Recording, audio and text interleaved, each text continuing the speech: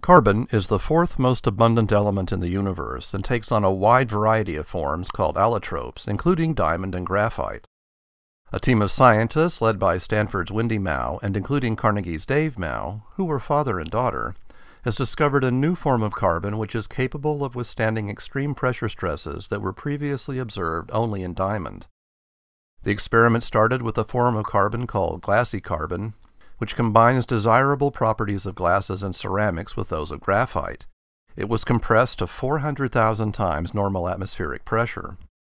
The new form of carbon, created under these conditions, was capable of withstanding 1.3 million times normal atmospheric pressure in one direction, while confined under a pressure of 600,000 times atmospheric levels in other directions. No substance other than diamond has been observed to withstand this type of pressure stress, indicating that the new carbon allotrope must indeed be very strong. Unlike diamond and other crystalline forms of carbon, the structure of this new material is not organized in repeating atomic units. It is an amorphous material, meaning that its structure lacks the long-range order of crystals. It may have an advantage over diamond if its hardness turns out to be isotropic, that is, the same in all directions. Diamond's hardness depends on the orientation of the crystal.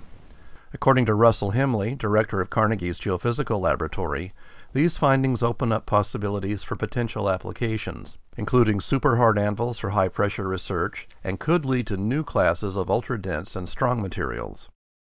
The Carnegie Institution has had over 100 years of extraordinary discoveries. To continue this tradition, Carnegie scientists need your support. For more information about this and other cool science, Visit our website at carnegiescience.edu. This is John Strom.